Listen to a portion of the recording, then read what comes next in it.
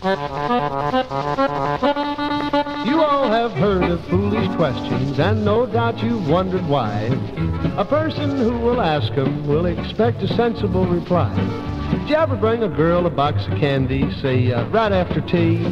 You notice how she'll grab it and then she'll say, is this for me? Foolish questions you should answer when you can. No, the candy's for your father or mother, John the hired hand. I just wanted you to see it, and now I'm going to take it away.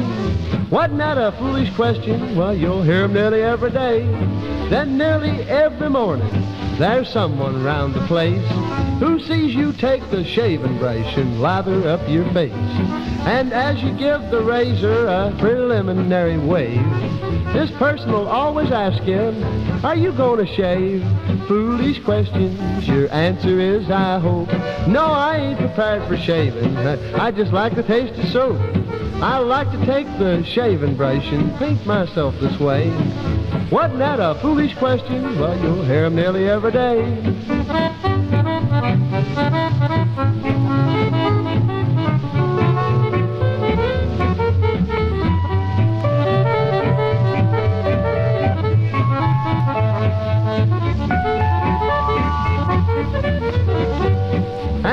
You all have seen the man who meets you on your way. He asks you, where you going?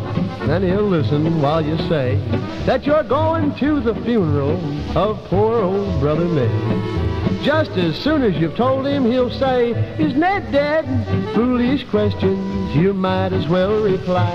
No, he thought he'd have the funeral, then later on he died. Brother Ned was so original that he wanted it that way. Wasn't that a foolish question? Well, you'll hear 'em nearly every day. Now, suppose an elevator boy should forget to close the door, and you should tumble down the shaft, say, uh, 27 floors.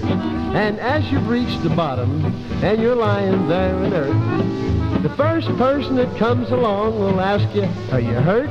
Foolish questions, your dying words are no. No, I was in an awful hurry, that there elevator runs too slow. I find I save a lot of time by coming down this way. Wasn't that a foolish question? Well, you'll hear hear 'em nearly every day.